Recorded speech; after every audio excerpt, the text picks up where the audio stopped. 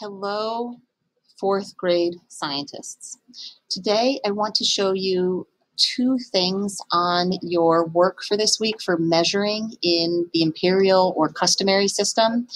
Uh, the customary system, as you have seen, is uh, the, the units of measurement that we're familiar with inches, feet, and yards. And we may even get into half inches and quarter inches this week. What I do want to show you is on your work for um, measurement. After you read the book, How Big is a Foot, you can see here there's a link that goes to what's called Investigations 3. Now, you must be logged into the Savvas EasyBridge uh, through Clever for your math to access this site. So just be sure to do that because it's all in the same place, but you do have to be logged in. So I'm going to click here, and what I wanted to show you is that you can see here it's it tells us length measurement tools. And I want to orient you to this page. So the first thing I want to show you is here is the title and you can click on the microphone and it will talk you through the page and it will tell you what this is all about. Then it tells you about tools for measurement and that's why I want you to look at this page underneath here, there's another ruler, and this one is talking about 12 inches or feet long. So it shows you different tools for measurement. I'm going to move myself over here.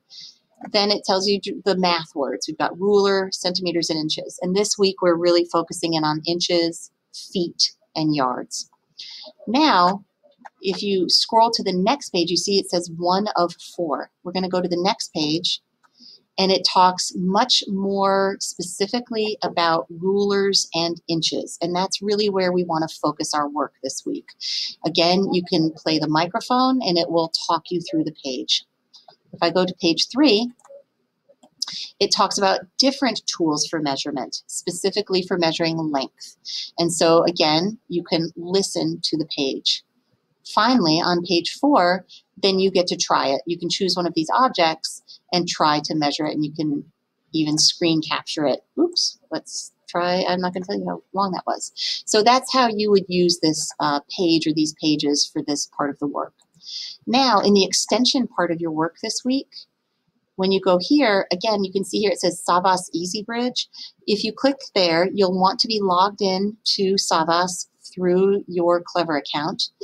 And again, is an extension. So it's measurement benchmarks. And this is really cool stuff because it tells you like different things that are lengths that are about an inch, about a foot, and about a yard. Um, and then you will always have those benchmarks available to you because you can see there are some like body benchmarks. Again, there are four pages. So you can listen to what the page is all about and then go to the next page. And this one is here, you can try it. This investigation or this these pages, there are four of them. I want you to only focus on the first two pages because those first two pages are customary units, which are the ones that we're working with this week.